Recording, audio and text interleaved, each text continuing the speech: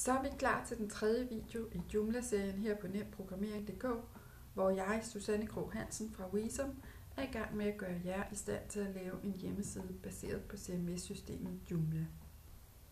I den sidste video installerede vi Joomla, så nu er vi faktisk næsten helt klar til at lave en super flot hjemmeside. For nemheds skyld har jeg valgt at basere videoserien på en case. Så min hjemmeside er til en lille selvopfunden danseskole, der hedder Twisters. I denne her video lægger vi lige Joomla til side et øjeblik. Der er nemlig noget, der er vigtigere, når man laver hjemmesider, end hvilket system man vælger til at lave selve hjemmesiden med. Har du en plan for din hjemmeside? Nej? Så bare tag det helt roligt. Du er nemlig ikke alene. Der er næsten 60% af dem, der har en hjemmeside, der ikke har en plan eller en indholdsstrategi til deres side. Men når vi tænker lidt over det, så kan det faktisk sammenlignes med dengang, vi lavede projektarbejde i skolen. Når vi lavede projekter i skolen, så lærte vi, at vi først skulle lave en indholdsfortegnelse, bagefter skrive indholdet. Og det skulle vi gøre, inden vi gik i gang med at skrive konklusion og introduktion. Og det gælder faktisk også for hjemmesider. Så derfor har jeg lavet en checkliste over ting, der er rigtig gode at have tænkt over, og ting, der er rigtig gode at klar, inden du går i gang med at lave selve hjemmesiden. Først og fremmest, så synes jeg, du skal bruge lidt tid på at tænke over, hvorfor du gerne vil have en hjemmeside. I Twisters tilfælde skal de have en hjemmeside for at kunne reklamere for danseskolen og for at gøre det let at tilmelde sig til dans. Det næste, jeg rigtig gerne vil have dig til at tænke over, det er, hvem dine kunder er, og hvad du vil opnå med at kommunikere med dem. Twisters største kundegruppe er unge mennesker, der gerne vil gå til dans.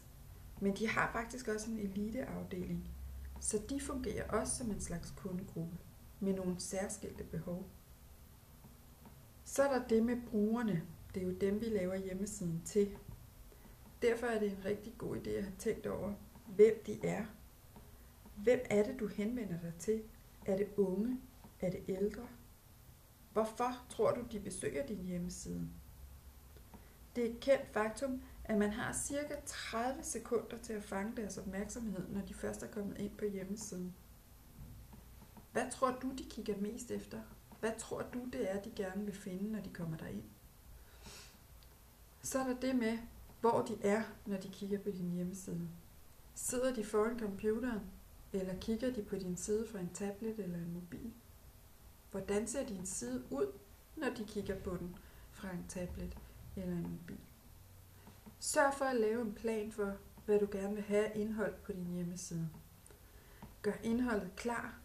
Skriv tekster. Find billeder og links frem.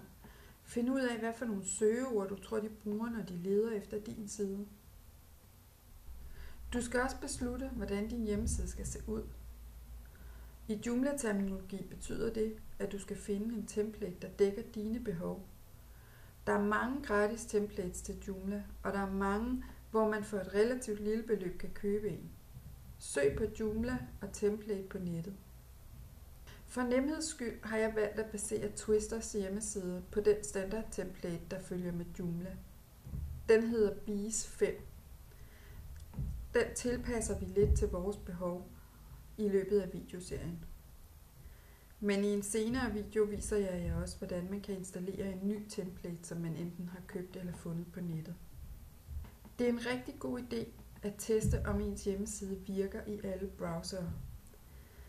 Det er ikke alle ting, der vises på samme måde i henholdsvis Internet Explorer, Chrome eller Firefox.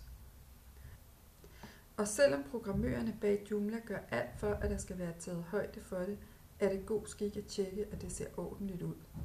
Det kan man for eksempel gøre på browsershots.org.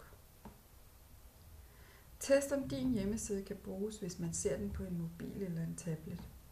Og når det er gjort, så er du faktisk ved at være klar til at bygge din side. I den næste video her på nemprogrammering.dk, der gennemgår jeg Joomlas opbygning og hvordan man arbejder med indhold i Joomla. Jeg håber, du er klar til at komme videre til næste trin.